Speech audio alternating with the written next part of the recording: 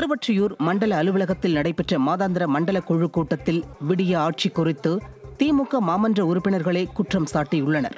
சென்னை மாநகராட்சியில் வெற்றி பெற்று ஓராண்டு நிறைவடைந்த நிலையில் ஒன்றாவது வார்டு திமுக கவுன்சிலர் தனது வார்டில் எந்த ஒரு வளர்ச்சிப் பணிகளும் மேற்கொள்ளவில்லை என வாக்குவாதத்தில் ஈடுபட்டுள்ளார். அப்போது திமுக கவுன்சிலர் ஒருவர் கூட்டத்தை விட்டு வெளியேறினார்.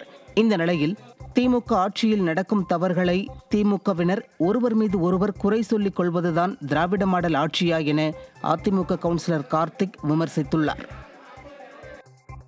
கவுன்சிலரு இந்த ஆட்சியில் நடக்கிற தப்புகளை தவறுகளை கத்தி கூப்பாடிட்டு இங்கே சொல்கிற நிலைமை தான் இந்த ஆட்சி. ஸோ இதுதான் திராவிட மாடல் ஆட்சியாக நடத்தி கொண்டிருக்காங்க இந்த திமுக அரசாங்கம்.